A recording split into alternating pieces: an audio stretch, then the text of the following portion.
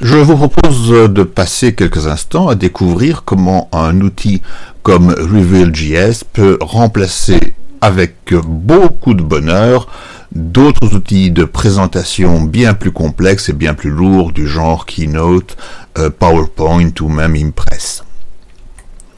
Pour cela, nous allons déjà aller chercher la librairie ou l'ensemble des librairies de Reveal.js sur le site web officiel ou éventuellement même mieux peut-être sur la plateforme GitHub. Pour cela, dans le moteur de recherche que vous préférez, vous cherchez bien sûr reveal.js, reveal.js, et vous allez vous diriger vers la plateforme GitHub où se trouve le code source, sans doute régulièrement mis à jour. Pour euh, cette plateforme, vous voyez qu'elle contient un, dossier CSS avec donc euh, des feuilles de style, un dossier JS avec du JavaScript. Ce sont essentiellement les deux dossiers que nous allons utiliser, les deux répertoires que nous allons utiliser, puis des librairies euh, accessoires, plugins, tests, accessoires que nous n'utiliserons pas. Nous allons toutefois télécharger l'ensemble de la librairie pour pouvoir l'utiliser. Et donc pour cela, sur le bouton Clone or Download, je vais prendre ici l'option Download. Download, donc je vais télécharger l'archive euh, zippé, je vais donc simplement l'enregistrer. Dans téléchargement, c'est fort bien.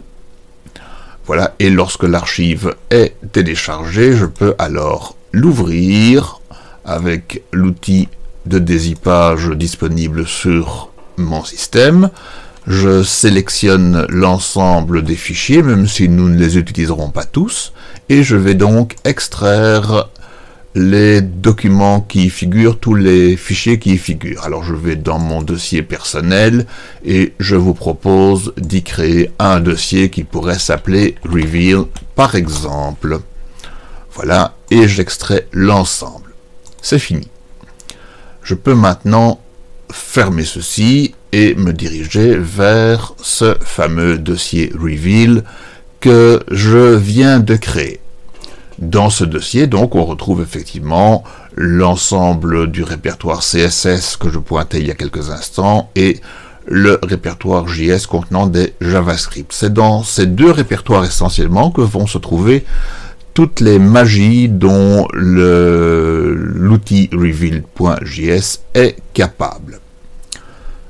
Je vous propose de partir immédiatement à la découverte de l'outil à partir d'un exemple simple ou à partir d'exemples simples que nous allons construire. Alors pour cela, eh on va sans doute démarrer du fichier demo.html que nous allons lancer. Donc il s'agit d'un fichier HTML qui va s'ouvrir dans le navigateur. Le voilà. Et ce fichier HTML contient en fait déjà une démonstration complète de l'outil Reveal.js. Et je vais revenir maintenant au code source qui se cache derrière cette démo.html. Alors pour cela, je vais ouvrir mon outil d'édition de code, Genie par exemple, mais tout autre éditeur de code pourrait fonctionner tout aussi bien je n'ai pas besoin de la partie inférieure ici, et je vais aller chercher ce document demo.html qui se trouve donc dans Reveal.js et demo.html. Il s'agit d'un fichier relativement léger, je l'ouvre, et j'y trouve toutes sortes de choses. Nous allons simplifier assez rapidement. Alors, euh, nous avons déjà discuté dans une vidéo précédente de HTML, CSS et JavaScript, je vous y renvoie éventuellement. Ici, quelles sont les informations dont nous aurons besoin? Donc nous avons bien sûr la balise doctype, la balise HTML. Alors ici, nous allons nous réaliser une présentation en français, donc je change la langue. Nous allons travailler en UTF-8 et nous allons tout à l'heure indiquer un autre titre que celui qui était présenté dans la démo. Donc j'enlève le titre, la description ne correspondra pas, le nom de l'auteur ne correspondra pas, donc j'enlève tout cela. Alors il y a un certain nombre de balises méta dont l'utilité n'est pas 100% euh, garantie, mais on va les laisser pour l'instant. Nous avons ici un lien vers une feuille de style, une feuille de style donc qui va nous permettre de, de présenter correctement notre document, et une autre feuille de style qui va ici nous permettre d'avoir un, aspect, un thème que nous allons pouvoir modifier à notre guise.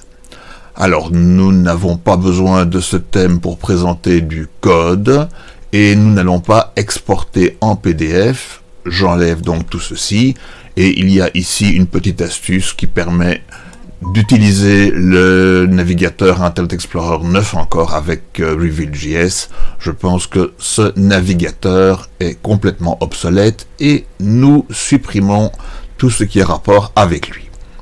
Bien, il nous reste alors maintenant le corps du document, body, dans lequel nous avons des choses intéressantes à trouver. La première chose intéressante est que ce body contient donc une division, un div, alors div est une balise HTML euh, générique qui n'a pas de fonction très particulière, une balise générique que nous allons quand même utiliser de temps en temps. Et ici, comme elle n'a pas de fonction particulière, nous allons juste lui attribuer une classe. Alors une classe, c'est un, une possibilité de conférer des propriétés particulières à cette division, à ce bloc div. Donc ici, Obligatoirement, pour utiliser RevealJS, nous allons lui affecter la classe Reveal. Alors, j'enlève ce commentaire qui va un petit peu obscurcir notre propos ici. Et vous voyez que dans la classe div, qui se termine bien plus loin, la classe div de classe reveal, il y a une autre classe, un autre div avec aussi une classe. Alors moi ce que je vais faire là maintenant, c'est simplifier le document, je vais quasiment jusqu'au bout, jusqu'au bout, jusqu'au bout, c'est très loin ça le bout, et je vais supprimer jusqu'à là. Lorsque, j'aurai tout supprimé ce qui ne m'intéresse pas, j'ai maintenant un bloc div classe égale reveal qui commence ici, qui se termine là, et à l'intérieur de ce bloc, j'ai un autre bloc div de classe slides. Alors slides, cela doit vous dire quelque chose, puisque slides en anglais est bien sûr le terme pour désigner des diapositives, et d'ailleurs même parfois par abus de langage en français, on entend des gens qui, disent, qui parlent de slides lorsqu'ils vont proposer un diaporama lors d'une conférence par exemple. Voilà. Eh bien, avec cela, nous avons l'essentiel. On pourrait même encore supprimer des choses ici en dessous. Je vous propose même de laisser le minimum du minimum. Donc, nous avons dans le script qui est sous la page HTML, au bas de la page HTML, j'enlève donc déjà ceci. J'enlève donc tout ce qui se trouve entre les accolades et il nous reste juste une instruction JavaScript qui est l'instruction reveal.initialize. Alors cette instruction va réaliser toutes sortes de choses sur notre diaporama lorsqu'il sera composé et au moment donc du chargement de la page. Je n'entre pas dans les détails de fonctionnement, sachons simplement que cette instruction est indispensable. Voilà, avec ceci, nous avons maintenant un document qui était au départ donc démo.html, mais qui est bien simplifié, qui contient donc encore des liens vers des feuilles de style, des liens vers des librairies en JavaScript, JS, qui vont donc réaliser les actions dont nous aurons besoin.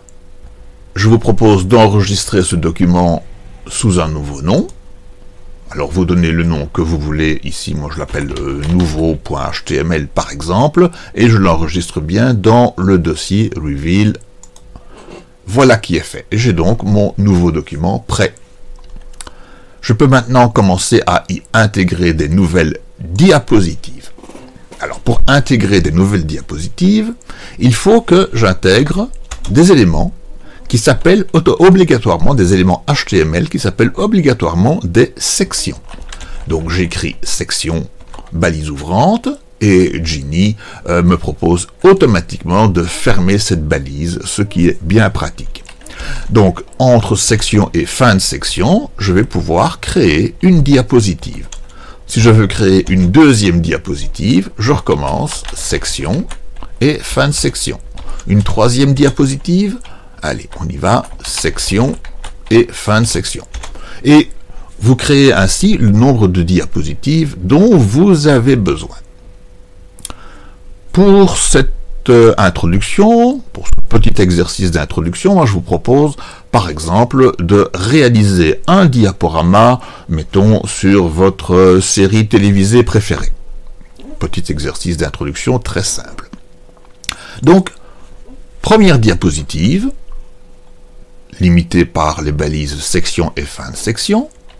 Dans cette première diapositive, eh nous allons, par exemple, mettre le titre de notre série télévisée préférée. Alors, euh, vous mettez là le titre de votre série télévisée. Euh, moi, je vais prendre un exemple que vous n'êtes absolument pas obligé de suivre. Alors, comme il s'agit maintenant d'indiquer un titre, d'un titre principal, d'un titre de niveau 1, vais-je dire, la balise correspondante, la balise HTML correspondante, qui a donc été discutée dans une précédente vidéo, je vous le rappelle. Cette balise sera donc un chevron plus petit que balise H1. Et la balise fermante se forme automatiquement grâce à Gini. Si votre éditeur de texte ne le fait pas, vous devrez fermer la balise H1 manuellement. Bien, j'indique donc dans cet élément de titre le nom de ma série télévisée. Alors je vais par exemple prendre euh, la série euh, Les Simpsons. Voilà. Et donc ceci sera ma première diapositive euh, qui ne contiendra peut-être que ce titre-là. Alors c'est déjà suffisamment intéressant de regarder ce que cela donne. Donc ici j'enregistre mon document je reviens dans mon navigateur de fichiers et je cherche le document nouveau.html que je viens de créer et je l'ouvre. Et voilà ma première diapositive avec le titre de la série. Je peux maintenant retourner parce qu'en fait derrière il n'y a rien. Voilà, diapositive vide, mais il y avait deux diapositives ensuite. Je peux revenir en arrière la première diapositive, et voilà. Je reviens maintenant à mon texte source, et je viens à la deuxième diapositive, diapositive qui commence donc avec une nouvelle section. Alors, euh, dans cette diapositive, que vais-je faire? Eh bien, je vais par exemple présenter euh, le pitch de la série. Alors, de nouveau, je vais mettre un titre, alors ici, il s'agit d'un titre peut-être de niveau 2, donc il s'agit d'une balise H pour header, je vous le rappelle, et il s'agit d'un niveau 2, donc H2. Voilà, le pitch de la série.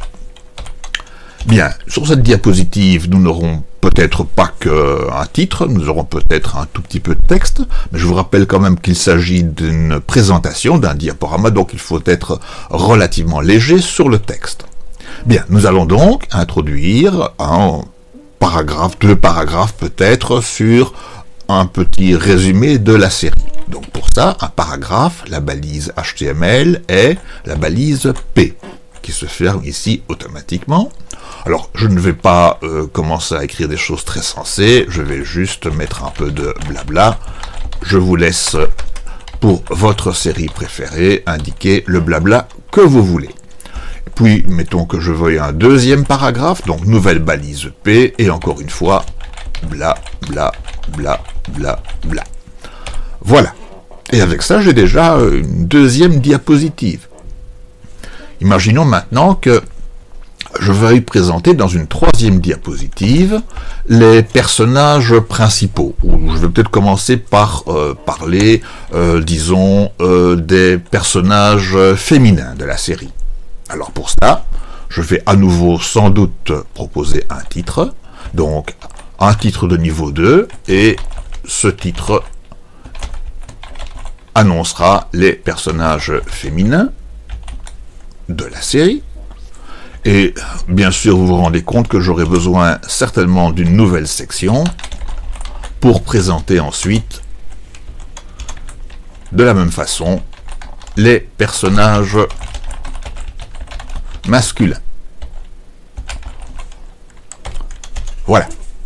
Bien. Parmi les personnages euh, féminins, euh, quels sont les personnages principaux? Bien, peut-être nous allons faire ici une petite euh, liste de ces personnages. Alors, on va faire une liste relativement limitée. Je vous renvoie de nouveau à la vidéo où nous avons parlé des listes. Alors ici, ça pourrait être une liste non ordonnée. Je vous rappelle la balise pour une liste non ordonnée, unordered list. La balise est UL. Et fin de liste non ordonnée. Voilà, UL, fin de UL. Puis, dans ces deux balises, entre ces deux balises, une nouvelle balise pour indiquer un élément de liste. Donc cet élément de liste entre des chevrons, Ellie et fin Ellie.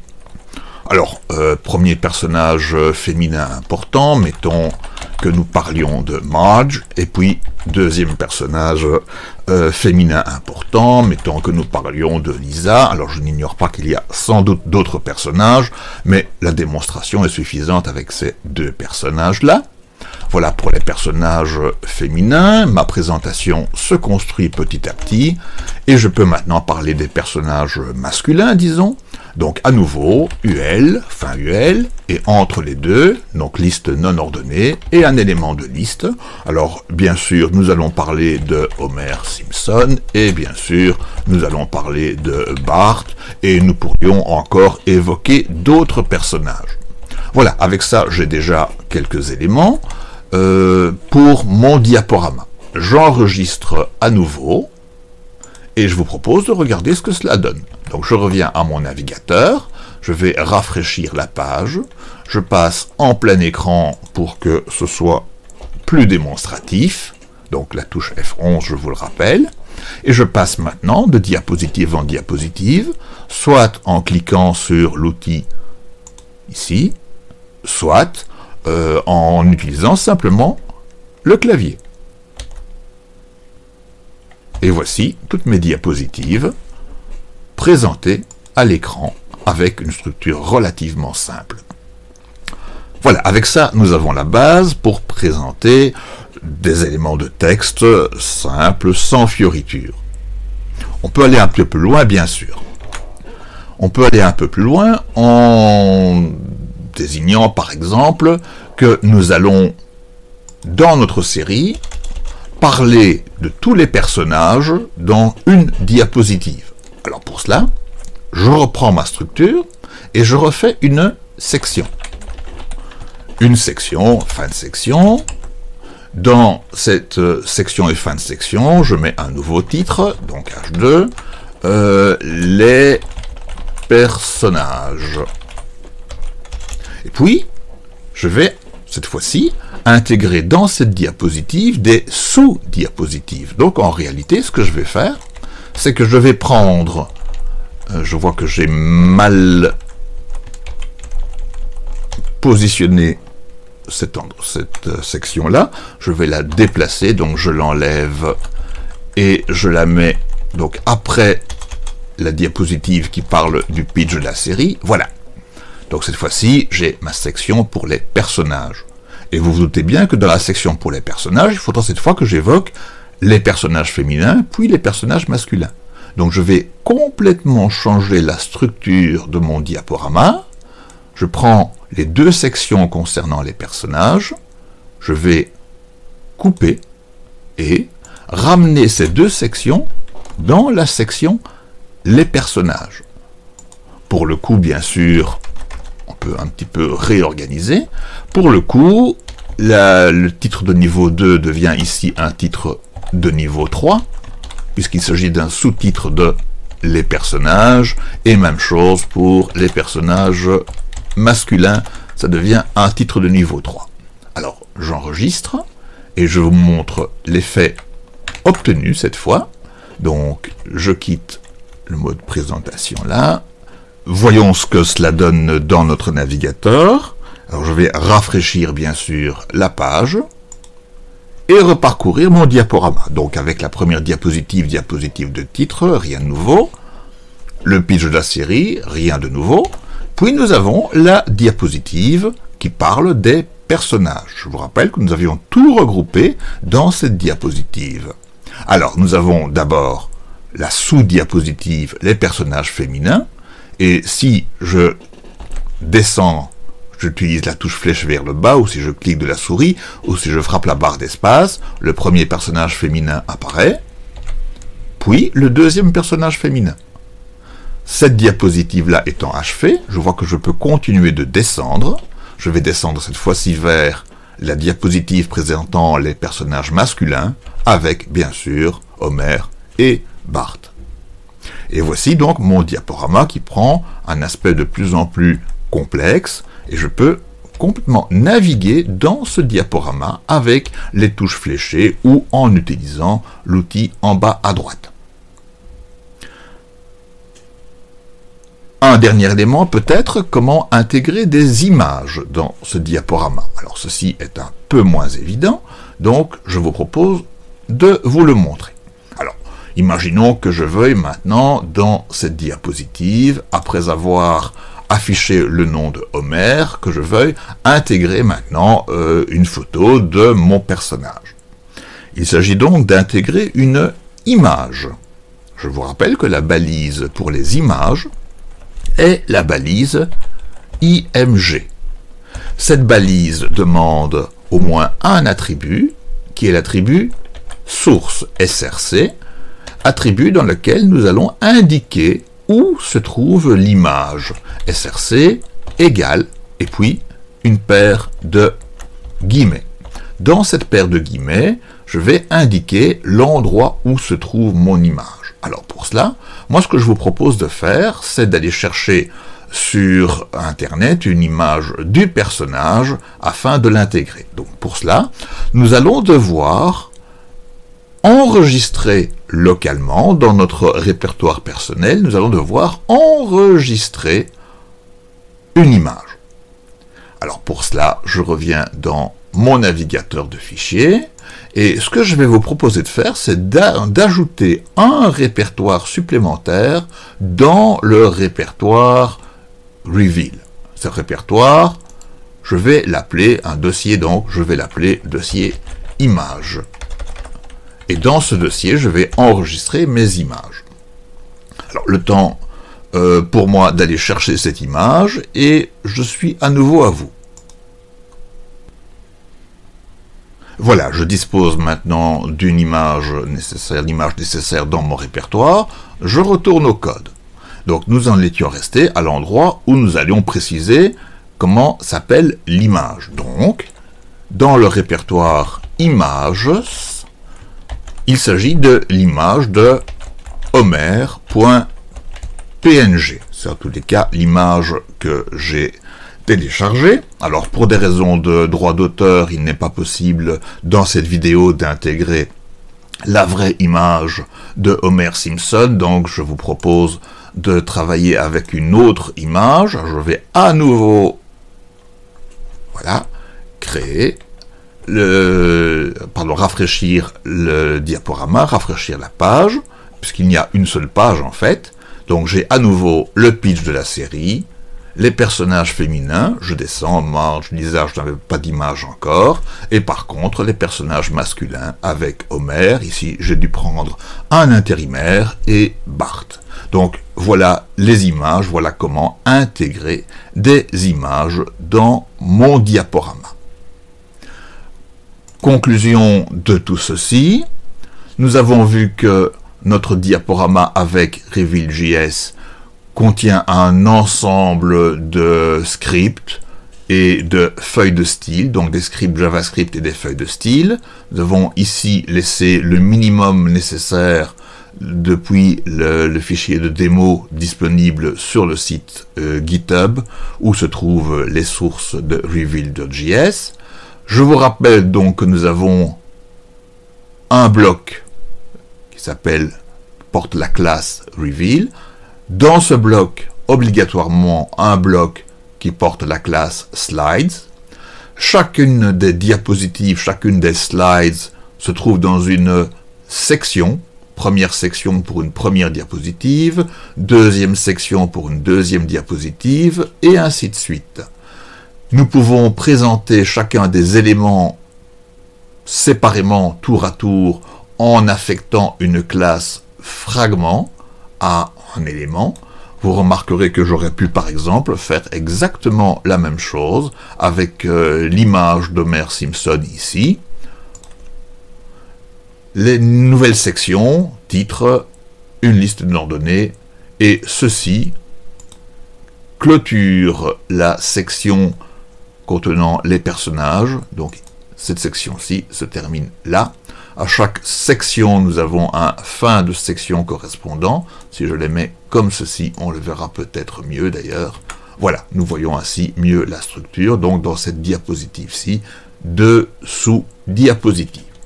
Voilà, muni de ces informations minimales pour commencer, je pense que vous avez un peu de matière déjà pour composer votre propre diaporama sur le thème qui vous sera indiqué.